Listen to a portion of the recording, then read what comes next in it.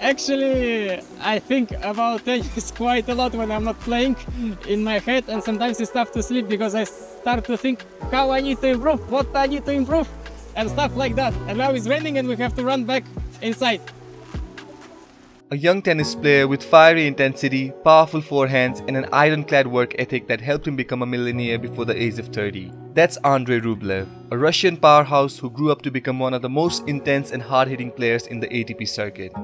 Known for his fiery play and relentless work ethic, Rublev's career has skyrocketed, earning him a current net worth of around 5 to 7 million dollars as of 2024. But this fortune did not just come from a few flashy matches. It's the result of his impressive string of titles, high-profile endorsements, and a unique approach to branding.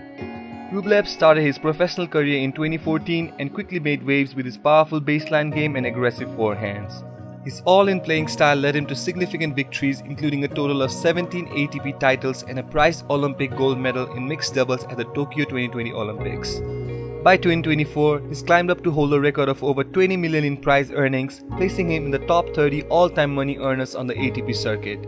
These victories are more than just numbers. They represent Rublev's unyielding determination to prove himself on the court. Endorsements have been another lucrative avenue for Rublev, partnering with big names like Head for rackets, Bulgari for luxury watches, and Penhaligon for fragrances. He's amassed a solid income outside of his tournament winnings.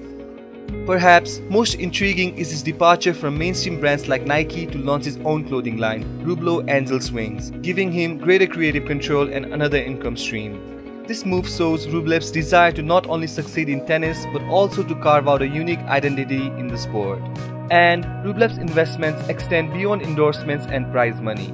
He resides in a sleek modern home in Moscow where he occasionally unwinds after high stakes matches. Unlike many young athletes, Rublev has chosen to reinvest in himself and his brand, focusing on financial growth and longevity rather than instant luxury.